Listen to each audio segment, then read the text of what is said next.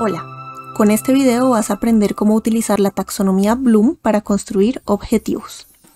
Una taxonomía es una clasificación. La taxonomía Bloom es la clasificación de objetivos en seis grupos a partir de los verbos que tienen dichos objetivos. Esta se utiliza para hacer objetivos de aprendizaje, por ejemplo, para construir sílabus o currículos académicos, como para hacer objetivos de investigación ya sean tesis o cualquier otro tipo de investigación que vayamos a realizar. La taxonomía de Bloom sirve para saber qué verbos son adecuados según el nivel educativo, si estamos hablando de escuelas o de programas profesionales, maestrías, doctorados. Y también sirve para saber cuáles verbos son adecuados para objetivos generales y cuáles son adecuados para objetivos específicos. Sabemos que todo objetivo inicia con un verbo en infinitivo, estos son los que terminan en ar, er o ir, como por ejemplo toser, bailar, comer, amaestrar, dormir, pagar, cantar, ser, ver, alcanzar, herir, etc. Pero ninguno de estos verbos en realidad son adecuados para um, usarlos en objetivos, ni de aprendizaje ni de investigación, no tiene sentido. Entonces, ¿cuáles verbos sí son adecuados? Bueno, la taxonomía Bloom construida en el año 1955 por Bloom y otros colaboradores, nos dice qué verbos se pueden utilizar en una clasificación del 1 al 6, donde los ordena de lo más simple a lo más complejo. Entonces, en el primer lugar tenemos aquellos verbos relacionados con el conocimiento, que utilizaremos mm, cuando nuestros objetivos son más simples o sencillos. Luego está la comprensión, un poquito más complejo. Luego está la aplicación, ya hablamos de metas donde ya conocemos algo, lo hemos comprendido y además queremos aplicarlo. Luego está el análisis, que es un nivel de profundidad mucho mayor. Después la síntesis y finalmente la evaluación. Entonces, esta taxonomía pone diferentes verbos que podemos utilizar para hacer los objetivos según estos niveles de complejidad.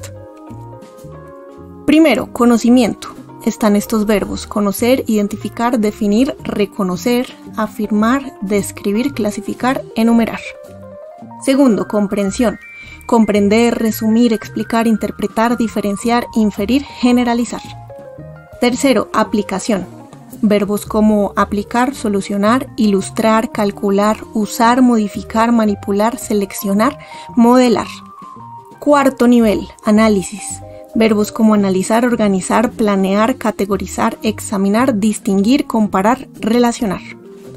5. Síntesis, sintetizar, producir, proponer, proyectar, diseñar, plantear, esquematizar, combinar, desarrollar, formular, crear. Y por último, nivel de evaluación.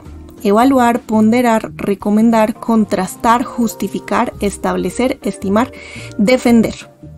Entonces, cuando vamos a hacer objetivos, pues podemos usar cualquiera de estos verbos que estén clasificados eh, dentro de estos seis grupos, dependiendo del nivel de profundidad o complejidad que vaya a tener nuestra investigación o nuestra propuesta de aprendizaje. El sistema de objetivos en una investigación se divide en dos partes. Un objetivo general y tres a cinco objetivos específicos. Pueden ser más, pero por lo general son hasta cinco. Entonces, de acuerdo con la taxonomía Bloom, el objetivo general se propone de la siguiente manera. Si es para programas profesionales, debería ser de nivel 3 en adelante. ¿Por qué? Porque el nivel 1 y el nivel 2 habla de metas que son demasiado superficiales como para un profesional. Y si es para maestrías y doctorados, debería ser de nivel 5 a nivel 6. ¿Por qué? Porque si es antes del nivel 4, entonces estaríamos hablando de metas que son ya demasiado básicas, que se pudieron haber cumplido por un profesional o incluso en una escuela. Por otro lado, para los objetivos específicos, la taxonomía Bloom nos dice que para el primero utilizaremos un verbo que sea de los primeros niveles de menor complejidad. Para el segundo, un poquito más de complejidad. Tercero, aún un poquito más de complejidad. Cuarto, mayor complejidad. Y así sucesivamente si hacemos cinco objetivos específicos o más. Y con esto terminamos. Así que si aprendiste a utilizar la taxonomía Bloom para construir objetivos, dale me gusta, suscríbete y recuerda que investigar es fácil.